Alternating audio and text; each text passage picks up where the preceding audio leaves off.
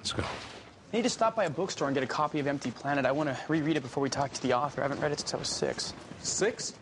I was still riding my big wheel at six years old. Do you mind? Only take ten minutes. To buy it or read it? Uh, both, actually.